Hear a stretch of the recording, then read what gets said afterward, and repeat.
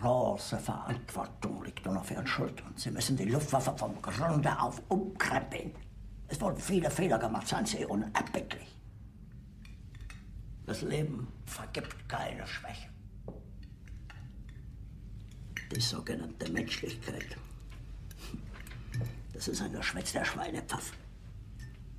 Mitleid ist eine Ursünde. Ich sage immer, Mitleid zu haben mit den Schwachen. Ist Verrat gegen die Natur.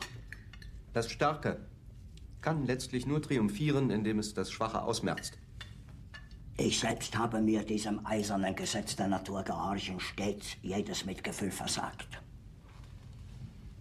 Ich habe die Widerstände im Innern wie die Gegenwehr der Fremdrassigen immer mit brutaler Härte eiskalt niedergeschlagen. Anders kann man das nicht machen.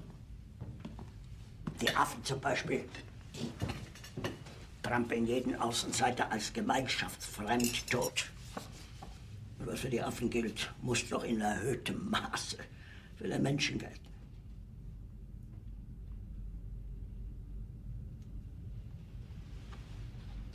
Himmler hat in Lübeck den Westmächten ein Kapitulationsangebot gemacht. Bei der Grafen Bernadotte. Der englische Rundfunk berichtet das.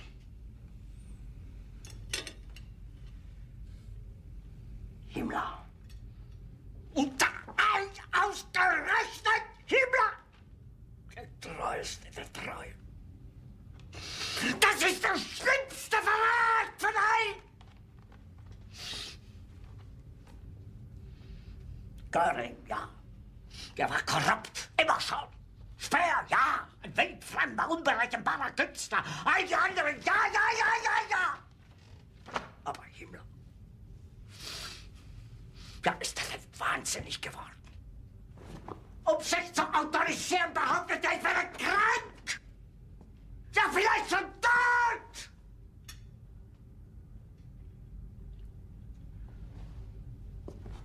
Bitte, lassen Sie mich mit Ritter von Greim und Fräulein Retscherlein.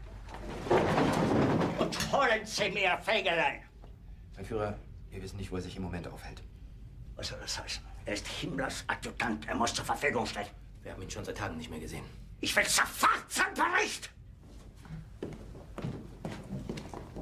Sie bleiben doch, bitte.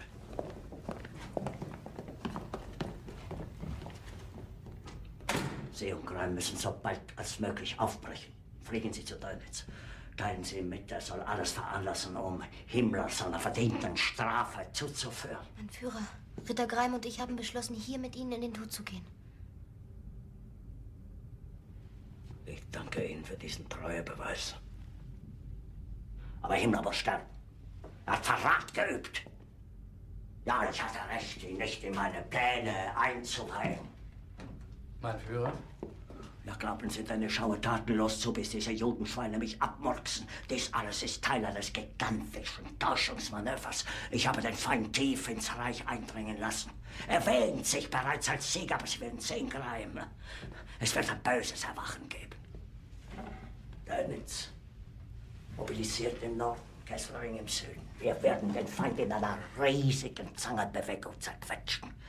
Zugleich falle ich dem Russen mit drei Armeen, die bei Prag bereitstehen, in den Rücken. Ich hatte ja keine Ahnung, mein Führer, dass wir noch über derartige Reserven verfügen. Ich habe Vorsorge getroffen, dass Ihnen, Greim, in Kürze tausend der modernen Strahljäger zur Verfügung stehen.